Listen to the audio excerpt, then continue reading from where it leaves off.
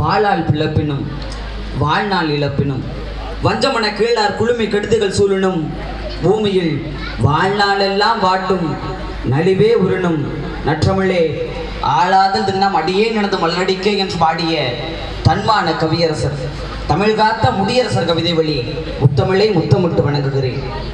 எப்பொழுதும் வழக்கமாக கொடிகள் தான் பூக்களை சுமக்கும் ஆனால் சின்னஞ்சிறு பூக்களும் கூட கொடியை சுமக்கும் தேசிய கொடியை சுமக்கும் ஆகஸ்ட் பதினைந்தாம் நாளான இன்று நம் தேசம் விடுதலை பெற்ற நாளில் இளம் பூக்களை கொண்டாடி மகிழ்கின்ற இந்திய பண்பாட்டு அமைப்பின் சான்றோர் பெருமக்களே அன்பு நிறை ஆன்றோரே பண்பு நிறை பெரியோரே சீர்நிறை சிறார்களே உங்கள் அத்துணை பேருக்கும் தேவகோட்டை தேப்பிருத்தோப்பள்ளி மணிகண்டனின் சிறந்தாண்ட வணக்கங்கள்.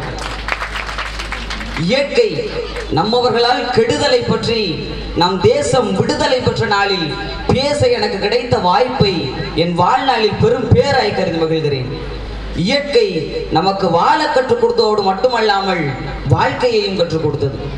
பிழைக்க கற்றுக் கொடுத்ததோடு மட்டுமல்லாமல் உழைக்கவும் கற்றுக் கொடுத்தது. மாயோன் மேய காடுரை உலகு என்ற தொல்காப்பியர். காடும் மலையும் ஆறும் கடலுமாக திருமேனி செலுத்திருந்த இயற்கை தாயின் பிள்ளைகள் நாம். திங்களை போற்றதும் ஞாயிறு போற்றதும் மாமலை போற்றதும் என்று இறைவனுக்கு பதிலாக இயற்கையை போற்றித்தான் இளங்கோவடிகள் சிலப்பதிகாரத்தை தொடங்கினார். இன்றைக்கு நம்முடைய இந்திய தேசத்தின் நிலை இயற்கையோடு ஏய்ந்த வாழ்வு வாழ்ந்த நம் இந்திய தேசத்தின் நிலை பரிதாபமாய் போய்விட்டது. ஒரு நாட்டில் வன ஒரு நாட்டினுடைய வளங்களில் மூன்றில் ஒரு பங்கு வனவளம் இருக்க வேண்டும். அதாவது முப்பத்தி மூன்று புள்ளி மூன்று மூன்று சதவீதம் வனவளம் இருக்க வேண்டும். ஆனால் நம் இந்திய தேசத்தில் பத்தொன்பது சதவீதம் தான் காடுகள் இருக்கிறது. அதுவும் பதிமூன்று சதவீதம் தான் நம் தமிழ்நாட்டில் இருக்கிறது.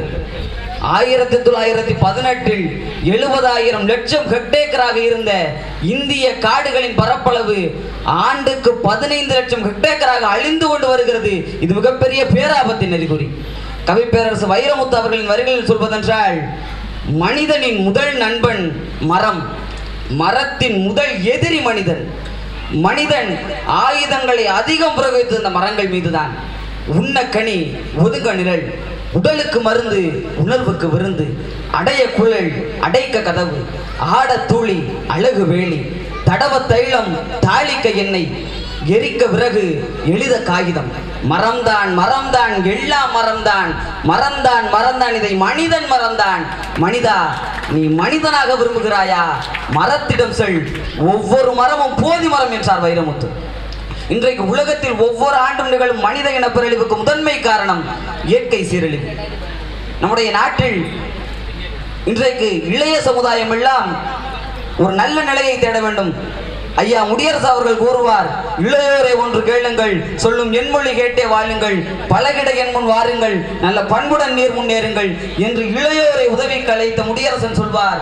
இயற்கையையும் இறைவனையும் தமிழையும் தமிழ்நாட்டையும் இளைய சமுதாயத்தால் மட்டும்தான் காக்க முடியும். இன்னைக்கு நம்முடைய நாட்டில் இயற்கை சீரழிஞ்சுக்கிட்டு இருக்கு.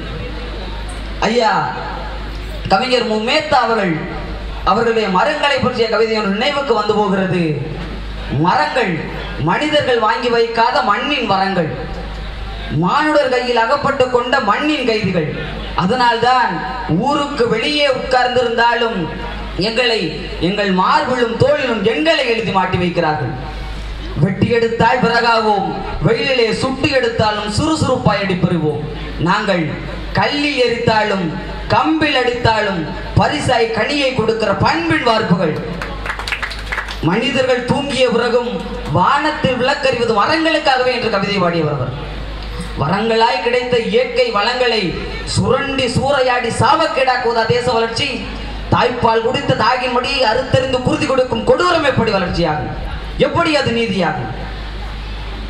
நம்முடைய நாட்டில் நிலத்தை பொறுத்துதான் பல தமிழர் குறிஞ்சி முல்லை மருதம் நெய்தல் என நானிலமாக குறிஞ்சி முல்லை மருதம் நெய்தல் பாலை என ஐந்திணையாக வாழும் நிலத்தை பொறுத்தே பல தமிழரின் வாழ்வியல் முறை வகுக்கப்பட்டது நிலம் நீர் தீ வழி வெளி என ஐம்பூதங்களும் பழந்தமிழரின் வாழ்வில் மிகப்பெரிய மதிப்பையும் வழிபாட்டு தன்மையையும் பெற்றிருந்தது. ஒரு பெரிய மலைக்கு கூட தாங்க முடியாத நகரம் எது தெரியுமா? நம்முடைய தமிழ்நாட்டின் தலைநகர் சென்னை. யோசித்து பாருங்கள் ஒரு பெரிய மலை. அதை கூட நம்மால் தாங்க முடியவில்லை. நாம் என்ன செய்தோம்? வீட்டுக்குள் கொண்டே ஏரிக்குள் கொண்டே வீட்டை கட்டினோம். இன்று ஏரி எல்லாம் நம் வீட்டு மீது ஏறி வந்து விட்டது. இது யாரால் நடந்தது? நாமெல்லாம் ஒரு குப்பையை தூக்கி போடும் பொழுது ஒரு தண்ணீரை குடித்து விடு வாட்டர் பாக்கெட்டை போடும்போது இதனால் என்ன ஆக போகிறது என்ற அலட்சிய போக்கினால் தான் இன்று ஒவ்வொரு பேராபத்துகள் நடந்து கொண்டிருக்கிறது. எத்தனையோ மலைகள் பெய்கின்றன. இறைவனுடைய அருளால் ஏதோ நமக்கு மழை கிடைத்து கொண்டிருக்கிறது. அந்த மழையை நாம் முறைப்படி சேமித்திருந்தால் நமக்கு தண்ணி காட்டுகிற ஆந்திராவுக்கும் கர்நாடகாவுக்கும் நம்மால் தண்ணி கொடுத்திருக்க முடியும். அதை நாம் மறுத்து விட்டோம் புவி வெப்பமயமாதலை தடுப்பதற்கு ஒரு புதுக்கவிஞன் அழகாய் சொல்வான் சைக்கிளையும் ரீசைக்கிளையும் கட்டாய சட்டமாக்கினால்தான் இந்த உலகம் தப்பு பிழைக்கும். என்ற நிதர்சன உண்மை. நாமெல்லாம் செயற்கை உரங்களாலும் பூச்சி மருந்துகளாலும் நிலைமைகளை மலடியாக்கி கொண்டிருக்கிறோம். தேச வளர்ச்சியை விட நாட்டு மக்களின் நலனை முன்னெடுக்கிற திட்டங்களை இன்றைய அவசியத்தை என்பதை ஆட்சியாளர்கள் உணர வேண்டும். நெருப்பு பந்தாய் மாறிக்கொண்டிருக்கும் பூமி பந்தை பூப்பந்தாய் மலர்விக்க குளிர்விக்க மக்கள் அனைவரும் ஒன்று சேர்ந்து இயற்கையை பாதுகாக்க வேண்டும். என்னுடைய தாத்தா மண்ணை தோண்டினாரு. அவருக்கு தங்கம் கிடைச்சது. எங்க அப்பா மண்ணை தோண்டினாரு. அவருக்கு தண்ணி கிடைச்சது. நாளைக்கு நான் மண்ணை தொன்னேன் அப்படின்னா எனக்கு மண்புழு கிடைக்கும். சிறிது காலம் கழித்து என்னுடைய சந்ததி என்னுடைய மகன் மண்ணை தோண்டும் போது அவனுக்கு வண்டி வண்டியா லாரி லாரியா மனித மண்டையோடுகளும் பிளாஸ்டிக் பைகளும் தான் கிடைக்குன்னா அதுதான் நம்ம சந்ததிக்கு நம்ம கொடுக்குற பரிசா? ஒரு இயற்கையை பாதுகாக்கிறது எப்படி? நம்மால் முயன்றவரை ஒரு மரக்கன்றை நட வேண்டும். காக்கை தன்னுடைய வாழ்நாள்ல முப்பது லட்சம் மரக்கன்றுகள் நடதான் ஆனா மனிதர்கள் நாம் இதுவரை ஒரு மரக்கன்றுகளாவது நட்டிருக்கிறோம் என்று சிந்தித்து பார்க்க வேண்டும்.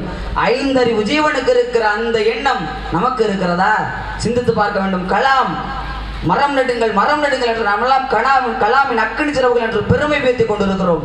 பாரதி சொன்னான் அக்கனி குஞ்சென்று கண்டேன் அதை யாங்கொரு காட்டில் ஒரு பொந்திடை வைத்தேன். வெந்து தணிந்தது காடு தலை வீரத்தில் குஞ்சென்று மூப்பென்று முன்றோ என்று இளைய சமுதாயத்தை பார்த்து பாடினானே. அந்த இளைய சமுதாயம் இன்று எங்கே இருக்கிறது? மாட்டுக்காகவும் நீட்டுக்காகவும் நோட்டுக்காகவும் போராடிய நாம் ஏன் நம்முடைய உயிருக்காக நம்முடைய சந்ததி போராட போராடாமல் இருக்க? நாம் இயற்கையை பாதுகாக்க கூடாது. சிந்தித்து பாருங்கள். என்னுடைய தாத்தா அதேதான் என்னுடைய சந்ததி எப்படி இருக்குன்னு சொல்றேன். என்னுடைய தாத்தா அன்னைக்கு சுதந்திரத்துக்காக போராடினாரு. என்னுடைய அப்பா சோத்துக்காகவே போராடினார். நான் இனிமே படிச்சு முடிச்சுட்டு ஒரு நல்ல வேலைக்காக போராடுவேன். நாளைக்கு என்னுடைய மகன் உயிருக்காகவே போராட நம்ம வரும். நம்முடைய சந்ததி எல்லாம் நம்ம வயிறார வாழ்த்தணுமா? இல்ல வயிறறிஞ்சு தூத்தணுமா? முடிவு நம்ம கையில தான் இருக்குது. முடிந்தவரை இயன்றவரை இந்த பூமி நல்லா இருக்கணும்னா? இல்லை இல்லை. நாமெல்லாம் நல்லா இருக்கணும்னா கட்டாயம் இயற்கையை பாதுகாத்தே தீர வேண்டும் என்ற வேண்டுகோளோடு விடைபெறுகிறேன். நன்றி வணக்கம்.